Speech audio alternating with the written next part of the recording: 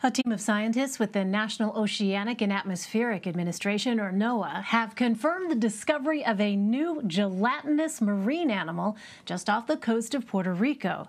The species of ctenophore was first seen during a remote underwater expedition in 2015. They are also known as comb jellies. The researchers described the creature as resembling a hot air balloon that moves across the sea floor. NOAA says it's the first time it's scientists scientists have identified a new species using only high definition video. For more on this, let's bring in Dr. Michael Ford. He is an oceanographer with NOAA Fisheries. He's also one of the scientists who made the discovery. Dr. Ford, welcome. Thanks so much for being with us. What more can you tell us about this new species of comb jelly?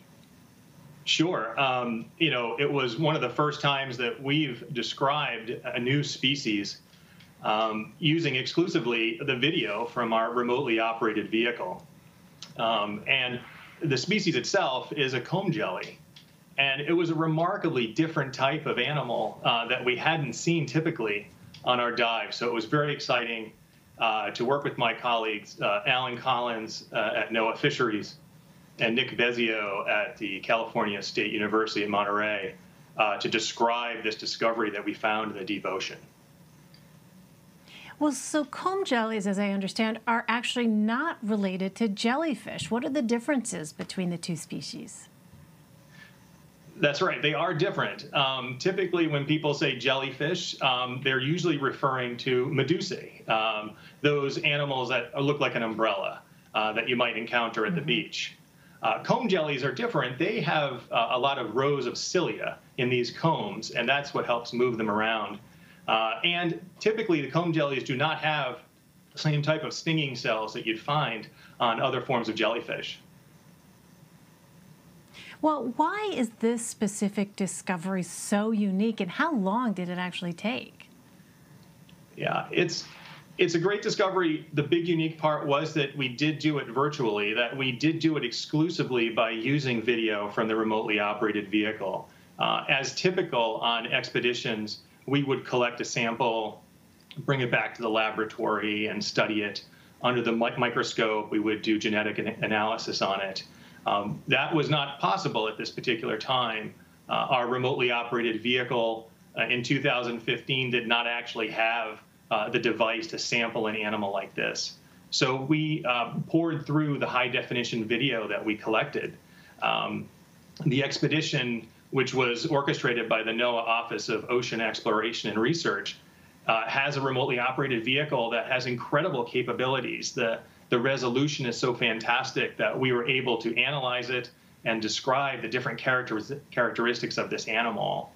Um, and, and that we found this animal at 4,000 meters, just 38 kilometers north of Puerto Rico, uh, was, was a fantastic uh, opportunity to bring this information about the ocean to bear. You know, I happen to love the ocean. I'm a certified scuba diver. I love all things water.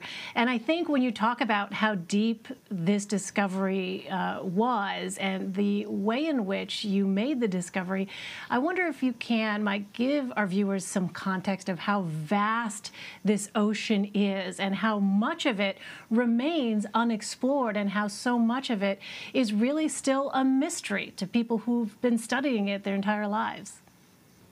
Yeah, the, the ocean is absolutely vast. And I can say it's um, almost completely unexplored.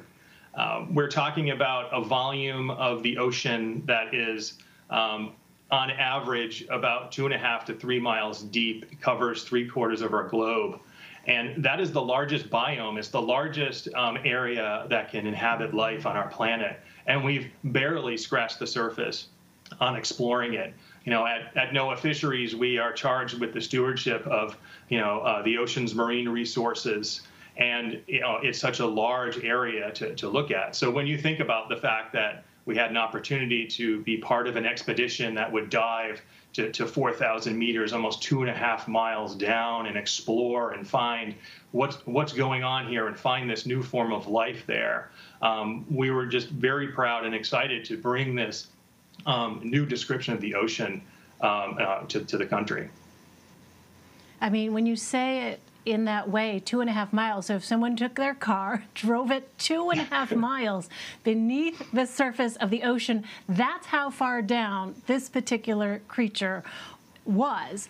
And the question now, Mike, is what kind of uh, possibilities does this raise, this particular discovery, about what else might actually be down there?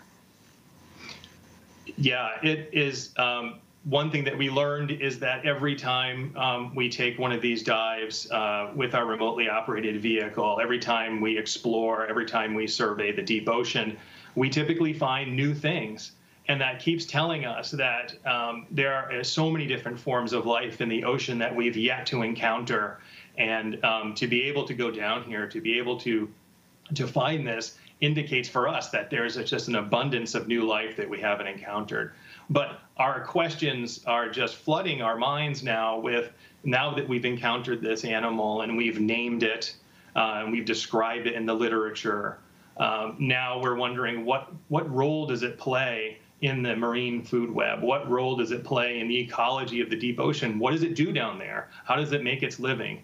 And that's, uh, I think, the exciting part of discoveries like this that that that we make at NOAA, that we can begin to uh, develop an understanding of how the ocean works and use that understanding uh, to improve our daily lives. Dr. Michael Ford with NOAA, thanks very much for sharing your exciting discovery with us. Really appreciate it. Thank you very much.